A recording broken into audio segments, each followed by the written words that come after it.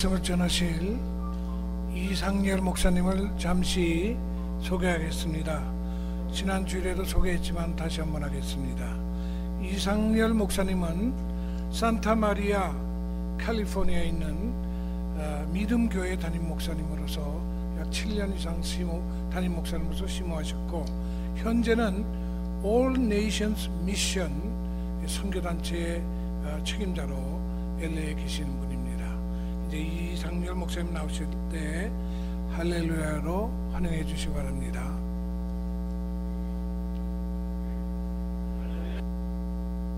예, 감사합니다.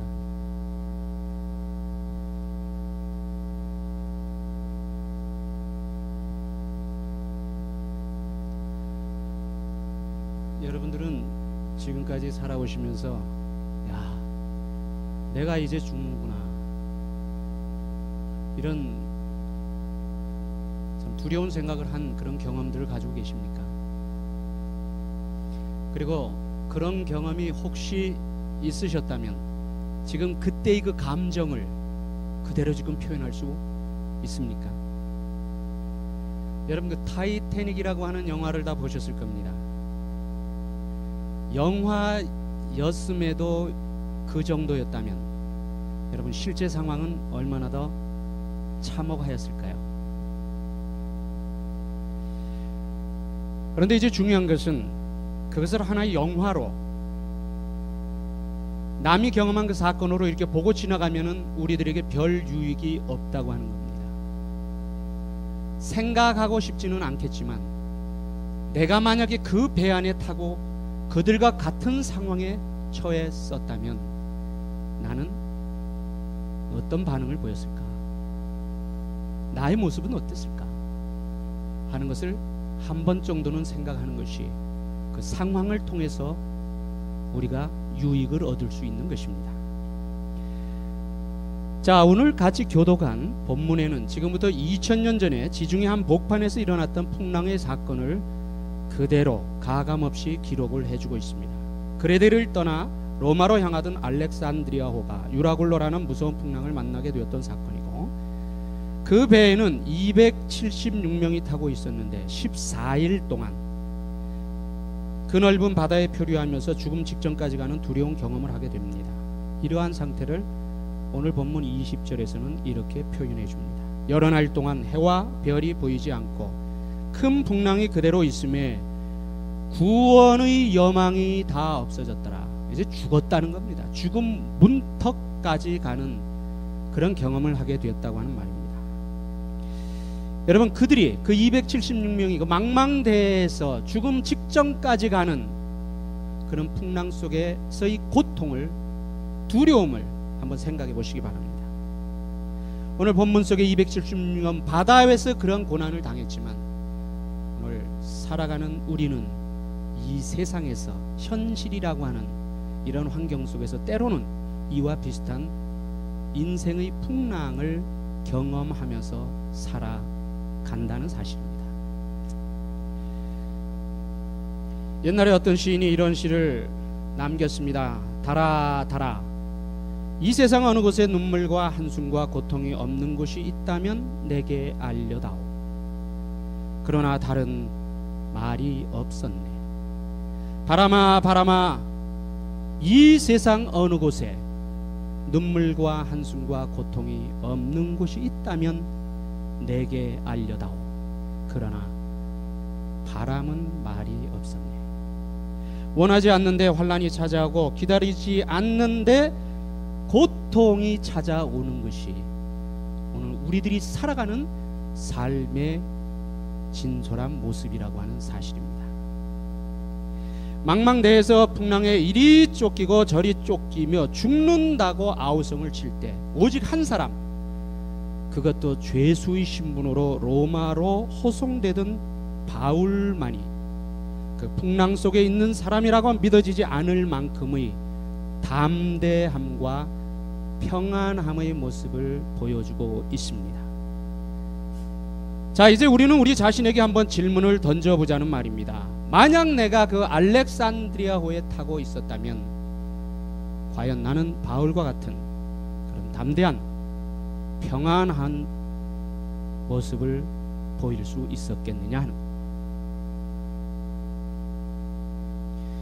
우리가 바로 보고 생각해야 할 것이 있습니다. 어차피 우리는 인생의 풍랑이 전혀 없는 삶을 살아가는 것은 불가능합니다. 그렇다면 인생의 풍랑이 전혀 없기를 바라는 것보다는 인생의 풍랑을 이길 수 있는 담대함과 평안함의 비결을 배우는 것이 더 지혜로운 일일 것이라는 말입니다. 여러분 유라굴로 속에서도 담대함과 평안함을 잃지 않았던 그 바울의 비결이 무엇인지 배우고 싶지 않으십니까? 함께 읽은 본문 속에서 풍랑 본문 속에서 풍랑 속에서도 담대할 수 있었고 평안할 수 있었던 바울만이 가지고 있었던 이 비결, 이 비결을 한번 본문에서 몇 가지로 찾아봅니다. 자, 그것을 찾아보기 이전에 우리들이 풍랑의 원인, 오늘 이 유라굴로라고 하는 풍랑이 일어날 수밖에 없었던 그 원인, 그것을 경험할 수밖에 없었던 그 원인, 그 원인을 우리가 한번 본문에서 먼저 찾아보겠습니다. 오늘 같이 읽지는 않았습니다만 사도행전 27장 10절에 보면은 이런 말씀이 기록되어 있습니다. 바울이 말하되 여러분이여 내가 보니 이번 행선이 화물과 배뿐 아니라 우리 생명에도 타격과 많은 손해가 있으리라 하되 하되 백부장이 선장과 선주의 말을 바울이 말보다 더 믿더라. 선장과 선주의 말을 바울의 말보다 더 믿더라 하는 말씀이 있어요. 백부장은 이 배의 운항을 책임지고 있었던 사람 같습니다. 아마 그 죄수들을 호송하는 배이었기 때문인 것 같습니다. 백부장에게 두 가지 서로 다른 소리가 들려왔습니다. 한 소리는 그 배의 선장과 선주로부터 나온 경험의 소리였고, 다른 한 소리는 죄수로 호송되어 가던 바울의 영적 통찰력으로부터 나온 믿음의 소리였습니다. 다시 말하면 경험의 소리를 들어야 하느냐, 영적인 소리를 들어야 하느냐, 현실적인 소리를 들어야 하느냐, 믿음의 소리를 들어야 하느냐. 여러분 별거 아닌 것 같아도요. 이것의 결과는 하늘과 땅 차이 이상이라는 겁니다. 오늘도 우리가 살아가면서 이러한 비슷한 경우를 많이 경험합니다. 서로 다른 두 가지의 소리가 들려올 때 우리는 어느 쪽의 소리를 들어야 되느냐? 현실의 소리, 상식의 소리가 들려올 경우가 있고요. 양심의 소리, 신앙의 소리, 믿음의 소리가 들려올 경우를 우리는 경험합니다. 자, 그때 우리는 어느 쪽을 들어야?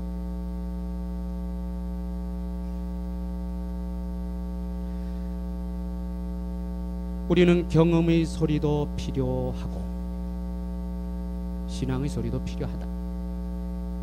다시 말하면 경험의 소리를 들어야 할 경우도 있고 신앙의 소리를 들어야 할 경우도 있다고 하는 말입니다.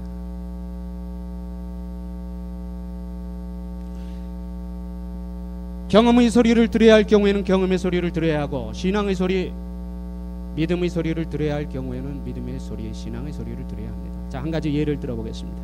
몸이 아픕니다. 몸이 아플 때 우리는 두 가지 소리를 들을 수가 있죠. 아, 빨리 병원에 가봐. 가서 의사를 찾아가라. 하는 소리를 들을 수도 있고요. 검 의사 찾아갈 거 있느냐? 만병의 의사이신 우리 주님께 기도하면 주님이 능력으로 고쳐 주실 텐데 하는 소리를 들을 경우도 있습니다. 자, 이럴 때 우리는 어떻게 할까요? 의사를 찾아가지 말고 기도로 이 병을 고치겠다고 하는 것이 좋은 믿음일까요? 아니면 몸이 아프다는 그 이유 때문에 의사를 찾아가는 것이 믿음이 없는 행동일까요? 의사를 찾아가서 고칠 수 있는 병이라면 의사를 찾아가야 합니다. 왜냐하면 의술도 하나님께서 우리에게 주신 은사거든요. 하나님께서 우리에게 지혜 주신 지혜를 통해서 인간이 이루어 놓은 하나의 과학의 업적입니다. 그 과학도 은사거든요. 그러니까 의사를 찾아가서 병을 고칠 수 있는 것이라면 우리는 의사를 찾아가야 합니다. 그러나 가끔 현대의학이 포기한 경우가 있습니다. 당신은 안타깝지만 두 달밖에 석 달밖에 길어야 6개월밖에 살지 못합니다. 라고 현대의학이 포기한 경우 있어요. 여러분 그때는 생명을 걸고 하나님에게 매달릴 필요가 있다는 거예요. 실제 그렇게 해서 그 병을 고침받은 사람들이 많이 있지 않습니까? 그렇기 때문에 의사를 찾아가서 병을 고칠 수 있는 그런 경우라면 의사를 찾아가야 된다는 상식의 소리를 들어야 하고 그렇지 않을 때는 신앙의 소리를 들어야 합니다. 그 우리 분별이야. 그래서 그 분별, 지혜의 분별이 우리들에게 필요하다고 하는 말입니다. 자, 본문의 풍랑의 원인은 영적인 소리를 무시하고 현실의 소리를 들었기 때문이었습니다. 이 오늘 본문의 사건은 특수한 상황 아닙니까? 그런데 백부장이 선장과 선주의 말을 바울의 말보다 더 믿었다는 거예요. 이 상황에서는 영적 통찰력의 소리를 들었어야 했는데 그걸 듣지 않았기 때문에 그들이 풍랑을 경험하게 된 원인이라고 하는 말입니다. 오늘 우리도 살아가면서 이것을 잘 분별해야 합니다. 이거를 제대로 분별하지 못할 때 우리는 역시 이 276명과 같은 인생의 풍랑을 경험할 수 있다고 하는 말입니다. 자, 그다음에 또 한 가지 원인이 있어요. 풍랑을 경험하게 된 또 한 가지 원인이 사도행전 27장 12절에 기록되어 있습니다. 그 항구가 과동하기에 겨울을 지내기에 그죠? 과동하기에 불편함으로 거기서 떠나 아무쪼록 베닉스에 가서 과동하는 자가 더 많으니 더 많았다. 다수의 의견을 따랐기 때문이라는 겁니다. 우리가 하는 말로 다수결 때문에. 우리는 지금 민주주의가 가장 활, 활짝 꽃을 피웠다는 미국 땅에서 살아가고 있습니다. 이 나라, 이 세상의 많은 나라들이 민주주의라고 하는 정치 제도를 택하고 있습니다. 그것은 민주주의가 완벽한 정치 제도이기 때문이 아니고 지금까지 인간이 역사 속에서 만들어 놓은 제도 중에서 그래도 제일 나은 제도라고 생각하니까 많은 나라에서 민주주의 제도를 택하고 있는 겁니다. 가장 나은 제도라고 하는 것이 무슨 뜻입니까? 성경의 사상이 가장 많이 반영된 제도라고 하는 말입니다.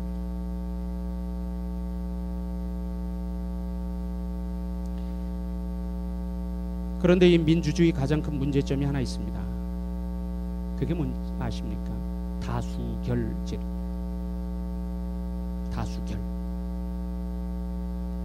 20세기 최고의 역사학자로 불리우는 아놀드 토인비가 인류 역사에 죄가 계속해서 반복되는 원인을 세 가지로 말합니다. 첫째는 개인주의 팽배. 개인주의 팽배. 두 번째는 책임 의식의 부재. 책임 의식의 부재. 개인주의가 팽배해 가는 것만큼 책임 의식도 따라가야 하는데 이게 반대라는 그 다음에 세 번째가 다수결 과신 즉 다수결이 정의라고 생각하는 이 모순 때문에 인류 역사의 죄가 반복된다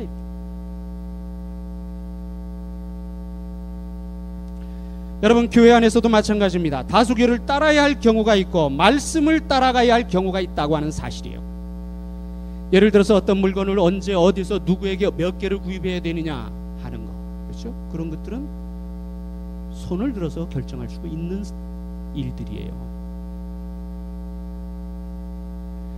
그러나 하나님께서 이 교회를 세우신 목적에 따라 교회의 방향을 결정하거나 교회의 신앙 성숙, 영적 성숙을 위한 프로그램을 만들어 하는 것 그것은 손을 들어 결정할 문제가 아니라는 겁니다. 그건 기도와 말씀을 따라가야 되는 거예요. 오늘 많은 교회들이 이러한 부분들을 정확하게 분별하지 못하기 때문에 교회 내 많은 풍랑을 경험하고 있는 것. 얼마나 안타까운지 모릅니다.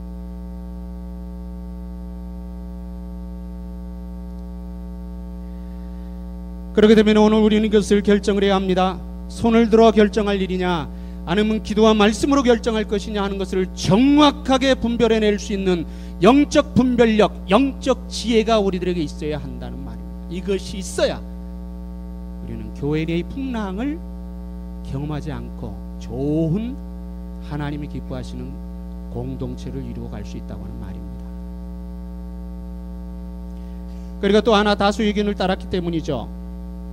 이제 우리는 말씀의 지혜와 정확한 믿음의 분별을 통하여 바른 신앙의 삶을 살아가야 합니다. 정확하지 정확하게 분별하지 못할 때 인생의 풍랑을 경험할 수 있다고 하는 말입니다. 자, 이것을 전제하고 이제 오늘 본문 속에 들어 있는 바울이 담대함과 평안함을 보여준 비결을 찾아보겠습니다. 첫째는 그는 그 무서운 풍랑 속에서도 하나님의 음성을 들었기 때문이에요.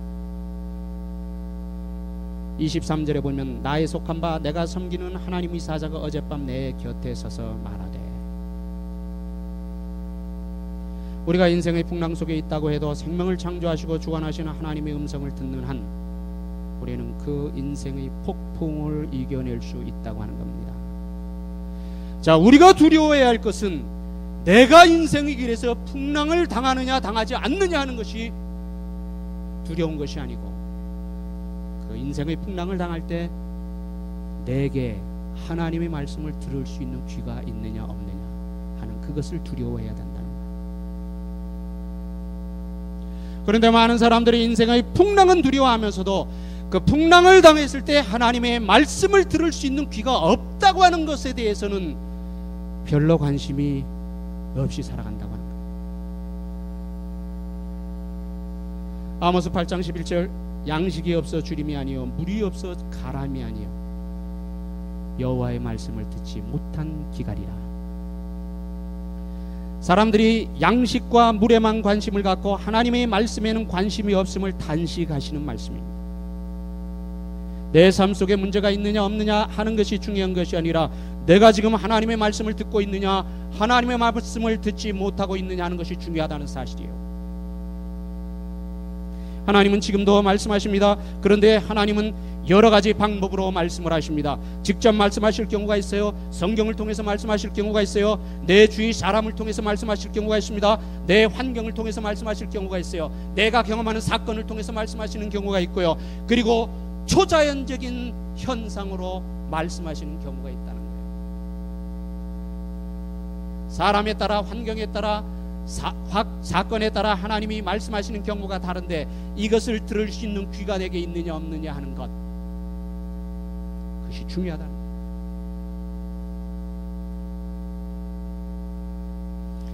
그러면 우리가 어떻게 하나님의 말씀을 들을 수 있습니까? 요한복음 4장 24절에 하나님은 영이시니 하나님은 영이시니 하나님은 영이시라는 말씀이 있어요.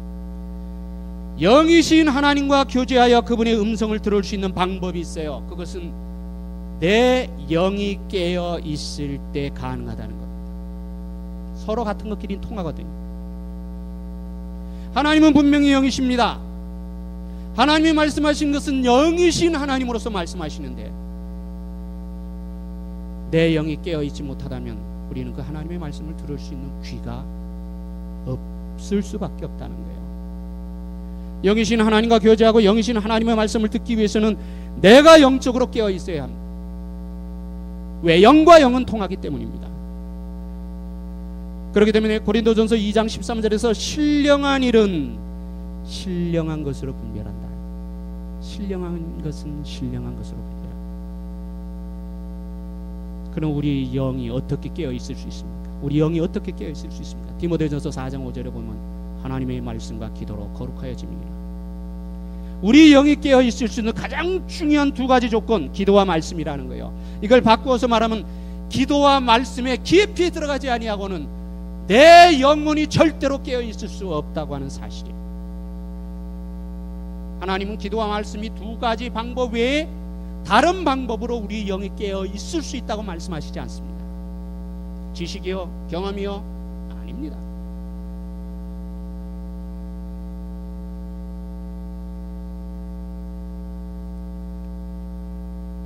하나님의 말씀과 기도를 통해서 영이 깨어나 영이신 하나님과 교제할 수 있고 또 우리에게 말씀하시는 그분의 말씀을 들을 수 있다는 거예요. 여러분 하나님의 음성을 듣는 일에 시간을 많이 쓰시기 바랍니다. 시간을 많이 쓰시. 저는 적어도 저 저는 항상 이렇게 말합니다. 어디 가든지 이렇게 말합니다. 여러분 여러분이 육적인 삶을 영위하는 것 중요합니다. 직장 생활 하고요, 아이들 양육하고요, 그 다음에 비즈니스 하고요, 열심히 하는 것 다, 우리 다 열심히 해야 합니다. 왜? 그건 다 하나님께서 주신 것이기 때문에. 그러나 그러나 우리 신앙의 관리도 적어도 그 정도는 해야 되지 않냐는 거야. 그 정도의 마음은 가지고 해야 되지 않느냐는 거야. 그럴 때 자칭 그리스도인이라고 말할 수 있지 않습니까? 이것이 바로 신앙의 조화입니다. 다시 말씀드립니다. 여러분 하나님의 말씀, 하나님의 음성을 듣는 일에 여러분 시간을 많이 쓰시기 바랍니다. 거기에 관심을 가지시기 바랍니다. 거기에 훈련하시기 바랍니다. 우리가 어떤 문제 속에 있다고 하더라도 그 문제를 통해 말씀하시는 하나님의 음성을 들을 수 있는 귀가 있다면 우리는 그 문제를 넉넉히 이겨낼 수 있고 인생의 풍랑 속에 들어간다 하더라도 우리 오늘 본문에서 바울이 우리들에게 보여주는 것처럼 담대함과 평안함의 모습을 견지해 갈 수 있다고 하는 그 다음에 두 번째로 바울이 우리에게 주는 담대함과 평안함의 비결을 찾습니다. 그는 하나님께서 자기를 부르신 목적과 자기를 지금 로마에 보내시는 목적이 무엇인지 알았기 때문에 다시 말하면 자기 사명이 무엇인지 분명히 알았기 때문이라고 하는 말이 한국에서 지나가는 사람들에게 기자가 마이크를 들이대고 이렇게 질문을 했습니다. 요즘 어떻게 사십니까? 요즘 어떻게 사십니까? 가장 많이 나온 대답이 뭔지 아십니까? 가장 많이 나온 대답의 1등, 2등. 1등 그럭저럭 삽니다. 그럭저럭 삽니다. 2등 죽지 못해 삽니다. 여러분에게 이 시간 질문합니다. 왜 사십니까? 어떻게 사십니까? 여기에 대한 분명한 답변을 가지고 사십니까?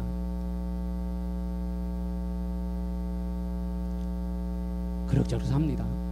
뭐 대충 살죠. 적당히 살죠. 뭐 사는 게 다 그런 거 아닙니까? 아니죠. 사는 게 다 그런 거 아닙니다. 분명히 아닙니다.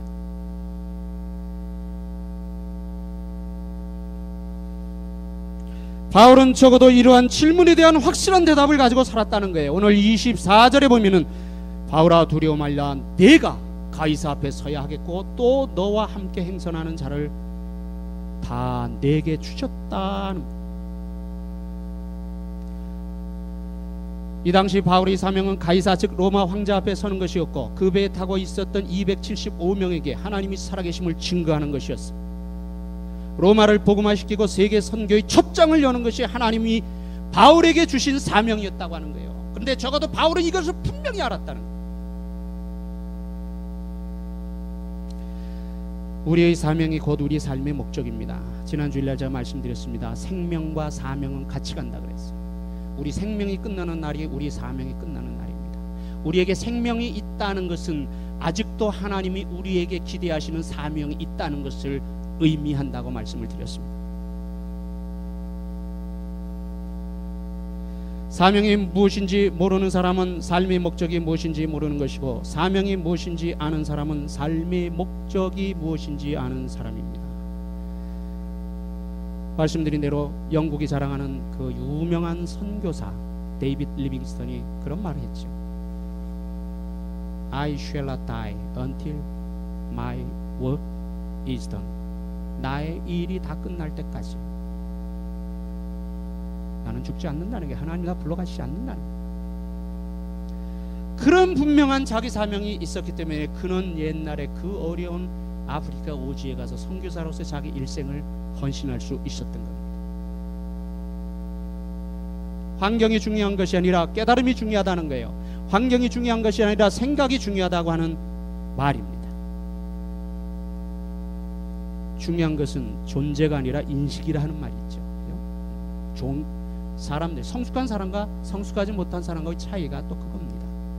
성숙하지 못한 사람은 존재의 목적을 어디에 둡니까?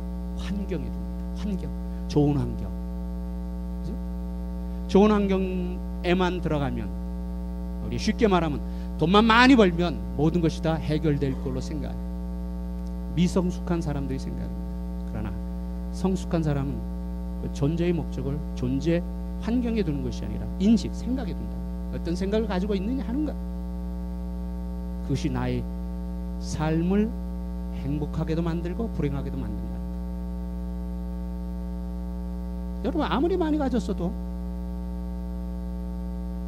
그 많이 가진 것을 많이 가진 것으로 생각하지 못하면 그 사람은 항상 갈증에 목말라 있는 사람입니다. 그러나 많이 갖지 못했어도 하나님이 내게 주신 것이 이렇게 넉넉하다는 생각을 가지고 살아간다면 그 사람이 부자 아닙니까? 그렇죠?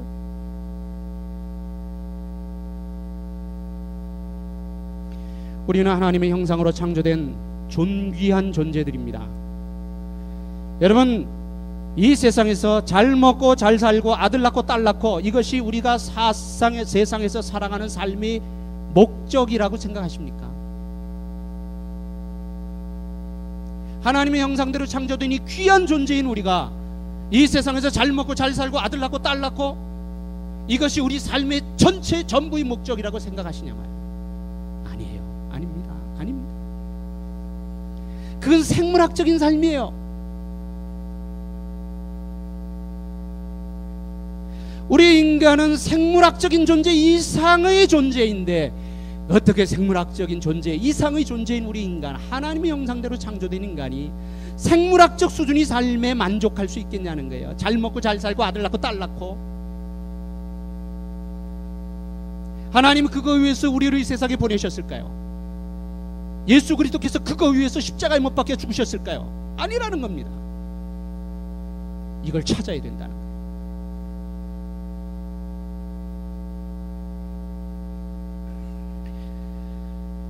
우리 인간의 존재 목적은 이거보다 훨씬 높은 수준의 목적이 있죠. 세 가지 수준의 삶이 있습니다. 본능 수준의 삶이 있고요. 도덕 수준의 삶이 있고요. 사명 수준의 삶이 있습니다. 우리 그리스도인들은 적어도 본능 도덕을 뛰어넘어 하나님이 사명 수준의 삶을 살아가는 사람들이에요. 이 사명 수준의 삶을 살아가는 사람들을 가르쳐서 크리스천이라 여러분 크리스천이라는 말이 무슨 뜻이에요? 그리스도를 따르는 사람들이라는 뜻이거든요.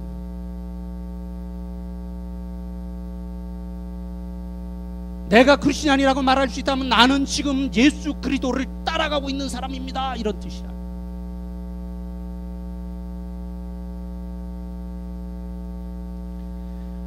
우리는 날마다 왜라는 질문을 던지며 살아야 합니다.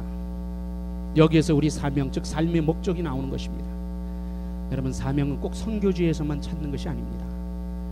우리 가정에서, 우리 직장에서, 내가 하는 비즈니스에서, 내 가정에서 얼마든지 사명을 찾아낼 수가 있습니다.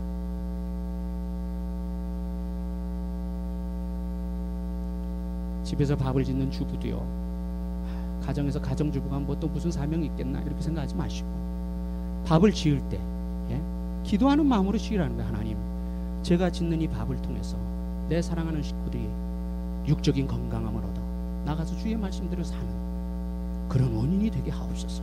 그러면서 밥을 지우고 반찬을 지으세요. 그러면 얼마나 맛있겠어요.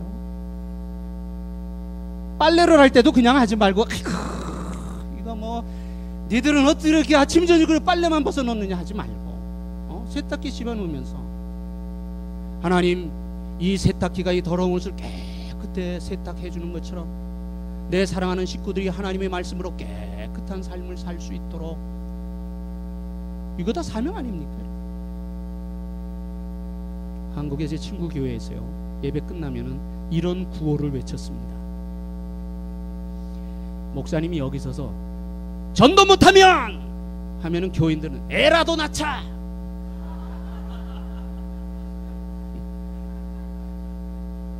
지나가다가도 아무한테 교인들끼리 이렇게 통해요.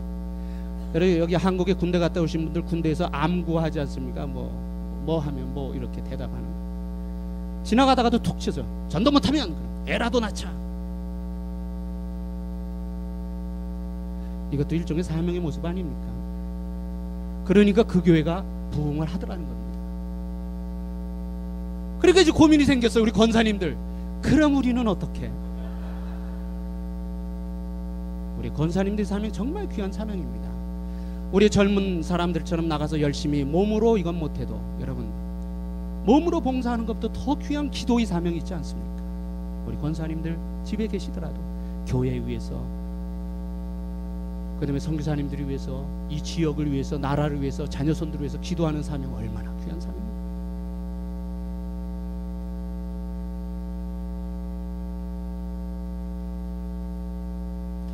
하나님께서 이 시간 우리에게 질문을 하신다고 생각해 보십시오.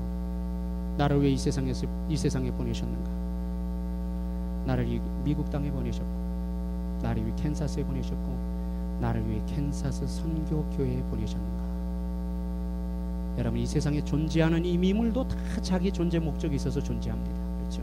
여러분 이 꽃을 볼 때 얼마나 아름답습니까? 사람들로 하여금 편안하게 아름다움을 향기를 주는 것이 꽃의 존재 목적 아닙니까? 그렇다면 이러한 것들도 분명히 자기 존재 목적을 가지고 있는데 하나님의 형상으로 창조된 우리 인간이 왜 존재의 목적이 없겠느냐 하는 거예요.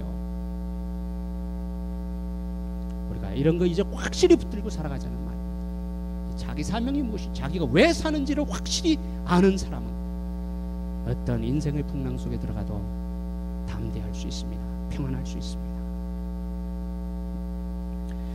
그 다음에 세 번째로 바울은 하나님의 음성을 듣고 자기 삶의 목적, 즉 사명을 확실히 깨달았을 뿐 아니라 그 하나님을 그대로 믿었다는 겁니다. 오늘 25절에 나는 내게 말씀하신 그대로 되리라고 하나님을 믿노라. 나는 내게 말씀하신 그대로 되리라고 하나님을 믿노라. 간단한 고백이지만 이 고백에는 바울의 모든 것이 다 걸려 있는 거예요.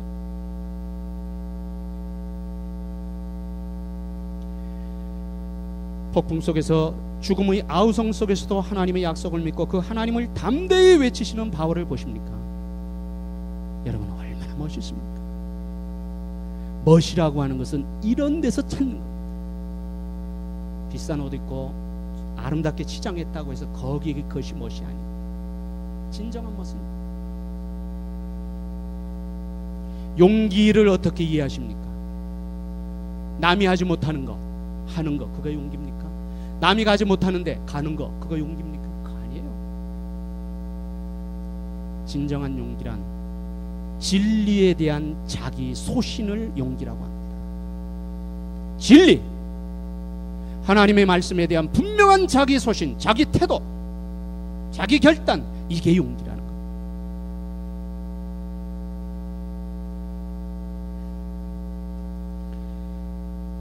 여러분 믿음을 어떻게 이해하십니까? 믿음은 고백이 아닙니다. 믿음은 삶입니다.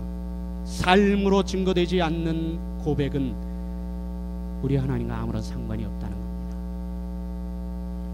주님은 우리에게 환란이 없을 것이라고 말씀하신 것이 아니라 환란 속에서도 함께 하실 것이라고 말씀을 하십니다. 요한복음 16장 33절 너희가 세상에서 환란을 당하나 담대하라 내가 세상을 이겼노라. 마태복음 28장 20절 보라 내가 세상 끝날까지 너희와 항상 함께 있으리라. 우리 주님의 약속입니다. 여러분 자기 믿음이 언제 나타납니까? 평상시에는 그 믿음의 높낮이를 우리는 측정할 수 없습니다. 다 똑같은 것 같아요. 평상시엔 다 똑같은 것 같습니다. 그러나 그 사람의 믿음, 자기의 믿음을 언제 측정해 볼 수 있습니까? 어떤 어려운 문제가 내게 딱 닫혀 있을 때 그 어려운 문제에 내가 어떻게 반응하느냐 하는 것이 그 사람의 믿음의 상태라고 하는 거예요. 똑같은 어려운 환경 속에도 한 사람은 감사합니다. 이 환경을 통해서 하나님의 뜻을 깨닫게 해주심을 감사합니다. 라고 고백하는 사람이 있는가 하면 똑같은 어려운 환경을 통해서 하나님을 원망하는 사람이 실제로 있지 않습니까? 그게 그 사람이 반, 믿음의 상태라는 거예요. 여러분 학생들은 학생들 공부할 때 공부 잘하는 학생이나 공부 못하는 학생이나 다 똑같아요. 다 열심히 하는 것 같지 않습니까? 그러나 공부 잘하는 학생과 공부를 못하는 학생을 구별하는 그 객관적인 기준이 무엇입니까? 그게 시험 아닙니까? 시험.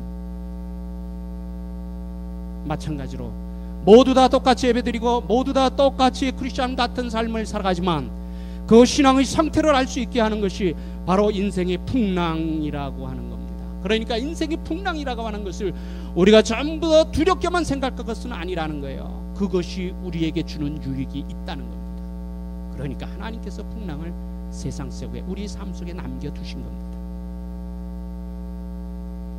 중요한 것은 풍랑의 문제가 아니라 내가 풍랑을 어떻게 보느냐 하는 문제라고 합니다.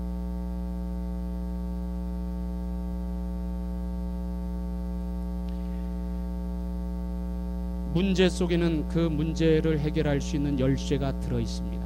여러분, 문제를 해결할 수 있는 열쇠는요, 반드시 여러분이 당하는 문제 속에 들어 있습니다. 그것을 문제 속에서 문제 해결을 찾느냐 못하느냐 하는 것이 바로 믿음의 성숙도의 차이라는.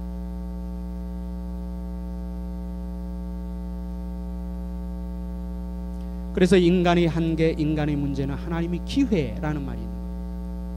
인간에게는 문제지만 그것은 하나님이 역사하실 수 있는 기회라고 하는 거예요. 염려의 시작은 믿음의 끝이고 믿음의 시작은 염려의 끝이라고 조지 뮬러가 그렇게 말합니다. 평안할 때 함께 하시는 하나님은 풍랑 속에서도 함께 하십니다. 적은 문제에 함께 하시는 하나님은 큰 문제에도 함께 하십니다. 어제 함께 하신 하나님은 오늘과 내일 그리고 영원토록 함께 하십니다. 하나님이 우리에게 주신 약속. 예수 그리스도는 어제나 오늘이라 영원토록 동일하시니 변하는 것은 우리지요. 주님은 변하지 않는다. 그런데 어떤 사람들은 자기가 변해놓고 주님이 변한 것처럼 착각을 하죠. 아닙니다. 주님은 절대 변하지 않습니다. 하나님은 절대 변하지 않습니다. 하나님의 말씀은 절대 변하지 않습니다. 변하는 것은 환경이요. 변하는 것은 그 환경 속에 살아가는 나라는 겁니다. 우리 자신이 이러한 사실을 확실히 믿는다면 우리는 어떤 풍랑 속에서 평안할 수가 있습니다. 우리가 살아가면서 한 가지 또 기억해야 할 것은 하나님은 우리에게 좋은 것보다 유익한 것을 주시기를 원하신다. 좋은 것하고 유익한 것은 다릅니다, 여러분. 많은 사람들이 하나님께로부터 좋은 것을 기대해요. 그러나 정작 하나님이 우리에게 주시기를 원하시는 것은 좋은 것이 아니라 유익한 것이 유익한. 좋은 것은 글자 그대로 좋은 거예요. 그러나 유익한 것은 그것이 때로는 고통일 수도 있고요. 그것이 때로는 환난일 수도 있고요. 그것이 때로는 아픔일 수도 있고 그것이 때로는 축복일 수도 있고 그것이 때로는 평안일 수도 있다는 거예요. 그래서 로마서 8장 28절에 뭐라고 말합니까? 하나님을 사랑하는 자고 그 뜻대로 부르심을 입은 자들에게는 모든 것이 합력하여 선을 이룬다. 얼마나 멋있는 말씀입니까?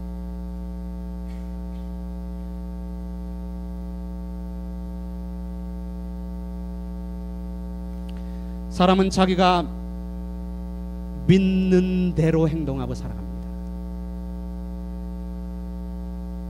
더 정확하게 말한다면 배운 만큼 알고 안 만큼 믿고 믿은 만큼 행동합니다. 그렇기 때문에 우리는 열심히 배워야 거예요. 열심히 배워야 하는 이유가 여기 있습니다. 우리 인간은 믿음을 살아 가지고 믿음을 가지고 살아가는 유일한 존재입니다. 요한복음 14장 1절 너희는 마음에 근심하지 말라 하나님을 믿으니 또 나를 믿으라. 염려, 걱정, 근심 같은 것을 이길 수 있는 유일한 무기가 무엇이냐? 그게 바로 믿음이라. 나를 창조하시고 나를 부르시고 구원해 주시고 인도해 주시는 그 하나님을 믿는다면 그것도 확실히 믿는다면 우리는 어떠한 풍랑, 어떠한 고난, 어떠한 환경 속에 들어가도 우리는 담대할 수 있습니다. 평안할 수가 있다는 말입니다. 왜 그렇습니까? 바울이 가졌던 그 믿음이 우리의 믿음이고 바울이 삶을 주관하시는 하나님이 바로 우리의 하나님이 되시기 때문입니다. 여러분 우리 앞길에 형통할 때도 있을 것이고요. 풍랑의 때도 있을 것입니다. 기쁠 때도 있을 것이고요. 슬플 때도 있을 것입니다. 잘 될 때도 있을 것이고요. 안 될 때도 있을 것입니다. 마음의 번민이 있을 때도 있을 것이고요. 마음의 평안을 누릴 때도 있을 것입니다. 우리 환경은 바뀔지라도 예수 그리스도는 말씀드린 대로 어제나 오늘이나 영원토록 변하지 않으신다고 하는 이 약속 하나만은 우리가